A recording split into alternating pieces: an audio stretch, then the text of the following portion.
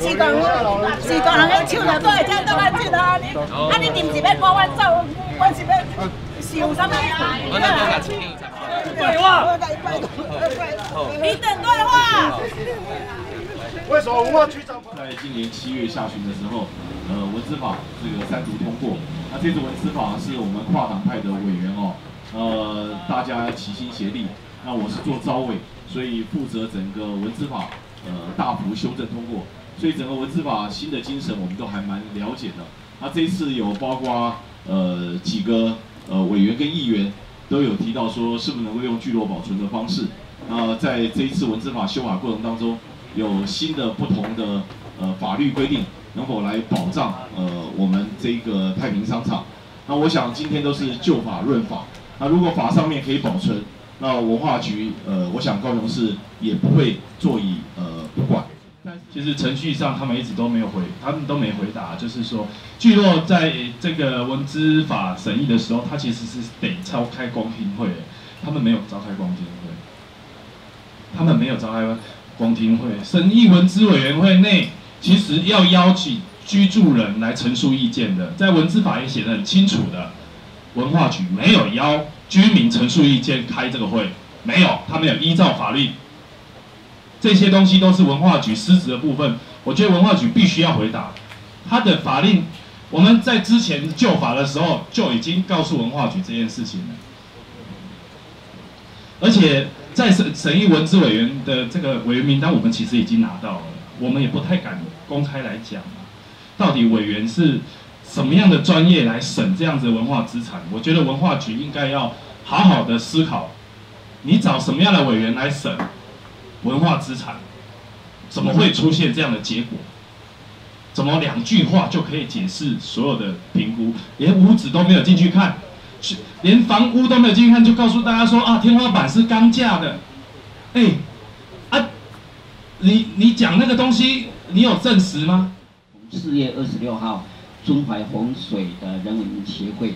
就依照文资法的第二条来提旗山太平商场大锅顶的内侧的审查，啊，做这样的一个提报。那么我们接到的这个呃提报了以后，我在我们在五月十八号，五月十八号就针对所提报的是不是有记录的内侧的这样的追踪的价值这个部分，我们依照法定的程序，也就是依照文资法施行细则的第八条。来邀请了五位委员来现刊。那么第八条里面呃的规定是这样子：第一个部分就是现场勘查后访查，现场勘查后访查。那么第二个是做成是否列册追踪的决定。换句话说，这我们就是依法论法嘛，哈，依照法定的程序来走，那也没有说一定。是要邀什么举报人或所有人来参加？我想说是依照法定的由委员来做成决议，这是第一个。第二个，在当时在五月十八号的当时，我们也知道文资法的有修法的这个部分在立法院。那么在立法院修法的草案里面也讲到，公有建筑物，呃，从这个新建完成超过五十年者，或者是处分前。这个应先进行文化资产价值的评估，那么等等，哦，这一些部分就等于这些部分，我们所以在当时我们也除了记录有没有列册追踪以外，也同步全面的做文化资产的评价值的评估。换句话说，包括古迹、包括历史建筑、包括文化景观，以及包括记除了记录以外，其他的部分我们一并来。这个做专业的审查跟决议，我想这个部分，呃，不以列册追踪这个部分都已经在五月十八号，呃，做这个做成决议了。文化资产的程序走完，如果各位委员或者是我们的在地的居民认为这个强这个程序是有瑕疵的，那么事实上是可以提行政救济的。哦，我想整整个的状况，因为在法的规规定里面，在文化资产规定，我只能做这样子的回应，请大家见谅。价资产价值的评估，我们是由文资的专业的委员来进行，才不会有关于呃大家质疑说行政呃文化局是不是中立，或者是有一些政策判断的这种立场的问题。因此文我相信文资法整个立法的精神就是文化资产的审议是由文资委员专业的判断来达成。那因此，所谓的文化资产价值的评估不会由文化局来评估，而是由委员来评估。关于聚落的审查的时候，当天五月二十八号那一天，委员五位委员来，确实有到大波平的商场去走。但是，因为我们是认为这个是委员的专业判断，所以委由委员自由的到商场上去做会摊。所以委员进去里头是不是有跟，是不是有跟呃那个商家做攀谈的这一件事情？因为我们没有。我们因为我们认为这个是现场勘查或访查，尊重委员的判断，所以由委员自行去来做现场勘查的动作，所以由委员自行跟商家来做互动的这个部分，就由委员在审查的时候自行处理。以上说明。真的希望我们文化部这边哈，能够好好的来帮助我们的著名寻找过去文化历史的轨迹，还有我们老师傅的传承，更不要讲说。既然三读通过的文资法里面，哈，在第十五条已经说明了哈，公有建筑物及其附属的设施群、自造物新建玩具逾五十年者，好，我们这边已经超过六十年。它这边第十五条是说，只要超建筑玩具逾五十年者，或公有土地上所定住之建筑物及其附附属的设施群、自建造物新建玩具逾五十年者。所有或管理机关于处分前，应先由主管机关进行文化资产价值评估。我现在在讲的是文化资产的价值评估哦。请问高雄市文化局，你有来做价值的评估吗？这边已经超过六十年，你他们来申请是列册，你们有没有来做价值的评估？文化资产价值的评估，那个是要有一个报告的，所以我也建议说。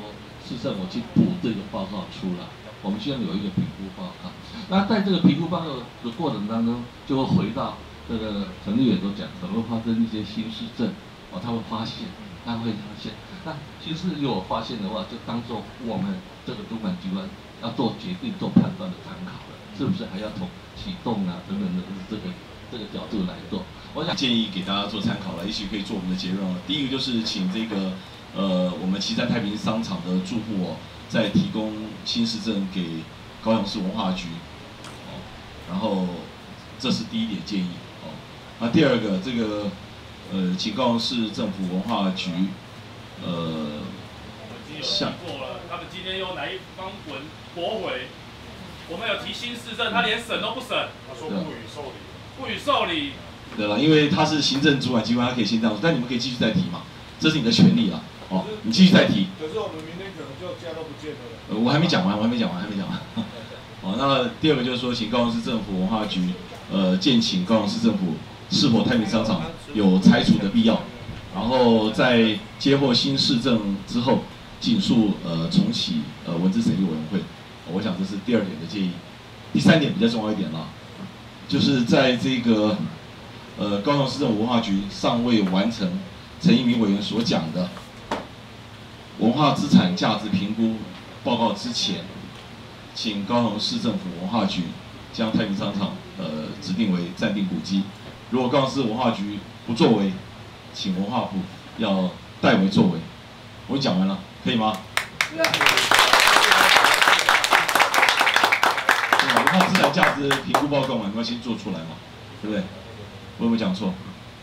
是是没有讲错的，但是不是说文化部就他们不作为，并不是说没有指定文化资产身份，就叫不作为了，不是这个意思哈。不作为是说他能启动也没有启动，他能提报来之后也没有找专家学者来看，这些东西都叫不作为。